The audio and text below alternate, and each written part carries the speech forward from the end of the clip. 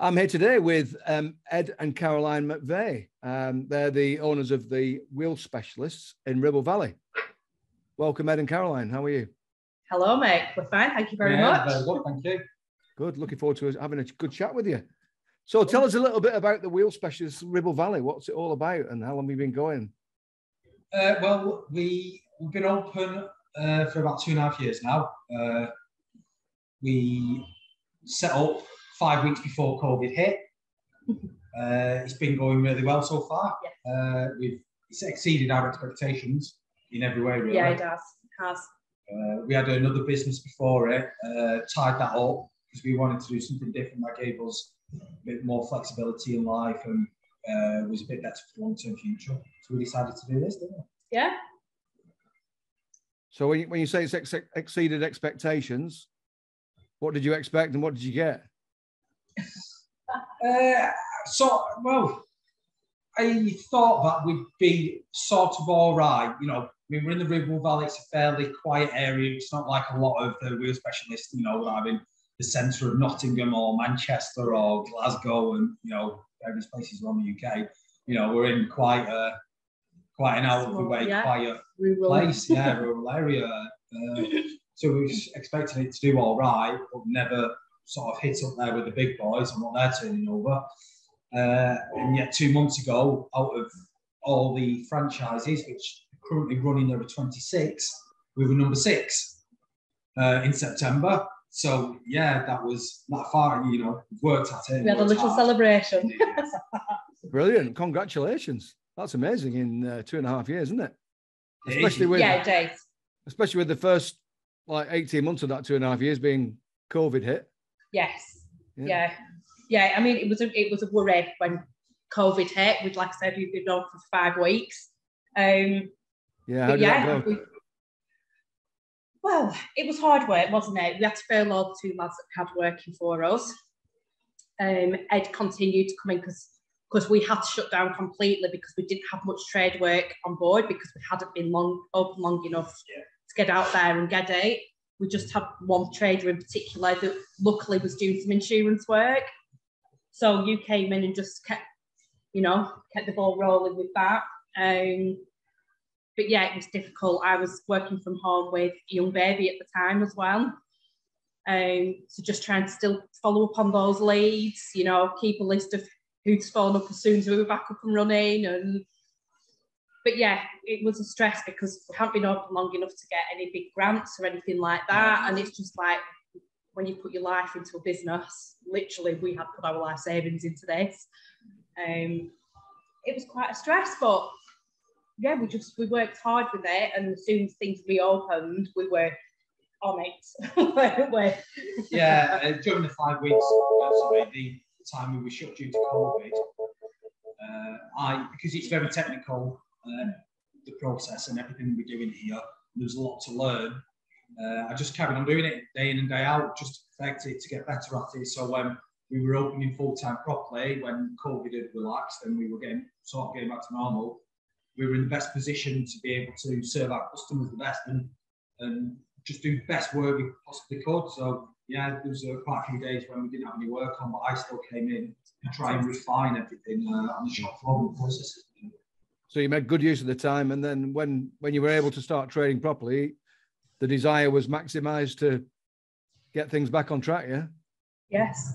Yeah. Yeah, we opened uh, when we could do, and we didn't really need to advertise that much because we just had people wanting to come and use us. Yeah. In all fairness, people had been kept inside and stopped from spending money for a bit, so we capitalised on it because yeah. uh, people wanted to come and go out and the sun, you know, it was nice weather at the time when COVID yeah, had lifted and the sun was out and people wanted to get the cars done because they had a bit of extra spending money. And so we rolled on from there and it's not really stopped rolling no. in all fairness for the last sort of two years. So what type of customers are you uh, dealing with at the moment? We deal with everything. So our split at the moment is probably actually 50-50, 50% public, 50% trade. Um, this time 12 months ago, we were probably more like a 35 65 split. Um, but yeah, we worked on trying to get the public so we can get it more at an even level with the two of them. Okay. But yeah, I mean, then they come from all our territory area is actually um, the Burnley area. So our territory is actually Burnley, Clitheroe, Blackburn, Preston, um, Skipton. Um, so we cover quite a wide area. And of course, to begin with, we tried to get the traders around here on board, but then we've really, really concentrated over the last 12 months on doing it more on a wider scale and getting yeah. those people further afield on board as well. Great. Which well has evened it out much. Good. So, um, what would you say differentiates you from other potential solutions that the public or the trade might have? Well, uh, I mean, we do everything as per the manufacturer. So you come and you bring your BMW in, uh, and you want a diamond cut wheel doing, uh, we'll do it, and it will look like, to some degree. I mean, obviously depending on damage and stuff like that, but let's just say it's just a standard wheel, and you've not got anything horrendous like driven over the Sydney or anything uh, it will look like pretty much like it came out of the showroom. It'll be shiny, it'll be as well finished, it'll be absolutely, uh, you know, people really can't tell. Uh, most of the time, we lose even being refurbished because we do so much, uh, put so much effort into it, and the quality of what we do is absolutely second to none. Yeah. You know, we get a lot of wheels coming in that have been refurbished previously, or like you know, done by somebody else, and we're happy with it, and bring it to us. We get wheels which are 30, 40 years old that we've got to refurbish and try to, yeah, try to make it as we can. Uh, we just set our sights uh, to the very top of the market, very high standards, and our turnaround times very quick as well. So, for example, on second hard coating fields, we can turn around the same day. So, some people are the big tools that sort of 8 o'clock in the morning, dropped it off, and you need it the same day, it's possible to strip them and be them all in uh, sort of eight hours. Um, I mean, you're trying to do that all the time because otherwise we have to run out half it. We usually say so two days. Uh, so. But when people are desperate, we can, yeah. we can do it for them. Yeah, and traders as well. We've had traders come into us before and they miss something. So we work closely with an insurance company on there. Something might be missed and the car's getting picked up in the afternoon at you know, four or five o'clock. They've missed it, it's lunchtime and it's a damn wheel we have turned wheels around like that in three hours for them. And we did it or two weeks ago, uh, and their was absolutely on the moon, you know, that for uh, So it's really sort of quality and how we are, how professional. And the fact that we do give a workmanship guarantee with that sure on what we are doing um, we offer workmanship guarantees for 12 months with your powder coated wheels and six wheels with six months with your diamond cut wheels, um, which is something that a lot of companies wouldn't. So, uh, so tell us about the uh, the future. What does that look like? What what challenges have you got looking forward? well, we are constantly trying to get more work on board.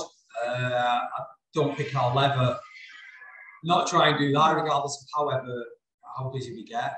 Uh, but we're always investing in new machinery, uh, looking into new ways to try and refine the process we're doing to speed things up uh, or to improve quality uh, where it's possible, or you know, new powders and new methods. We've invested, uh, even in the short time we've been open, we've invested in a couple of new bits of kit uh, rather than just saving money for a rainy day.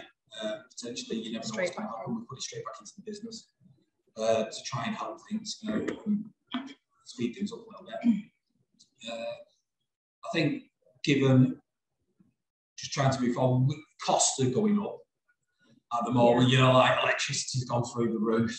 Uh, so I suppose our biggest thing is just trying to manage the outgoings of the business while still maintaining our uh, our quality and then bring extra work, yeah. uh, which we constantly do. We have a sales guy coming for us a couple of times a year to go out on the road uh, to try and drum up new work and then to, to bring it in for us because we're always looking for that next trade, uh, trade account on board.